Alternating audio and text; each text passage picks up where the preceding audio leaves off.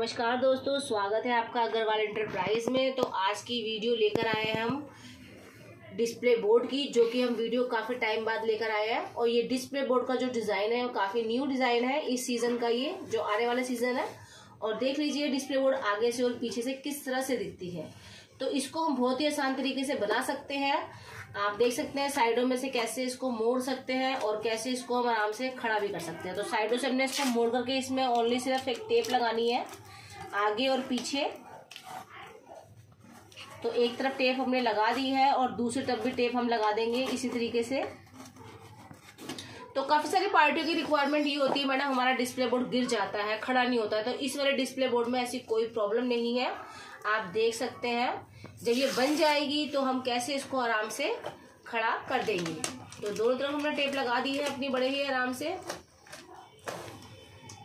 और देखिए हमारी जो डिस्प्ले बोर्ड है बिना किसी स्टैंड के खड़ी हुई है।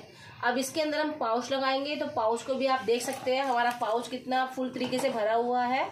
और इसको अंदर हमने इसके सेट कर देंगे। बड़े ही आराम से इसमें सेट हो जाएगा। आप देख लीजिए।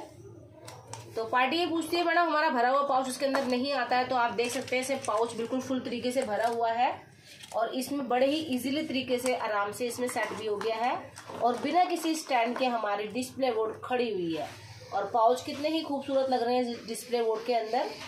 तो आज की वीडियो में इतना ही। अधिक जानकारी के लिए आप हमारे कॉल कर सकते हैं व्हाट्सएप पर मैसेज कर सकते हैं। तो कॉन्टैक्ट नंबर आपको हमने दिखा दिए हैं कि कौन कौन से हमारे कॉन्टैक्ट नंबर हैं। इस पर हमें कॉल कर लीजिए व्हाट्सएप पर मैसेज कर लीजिए।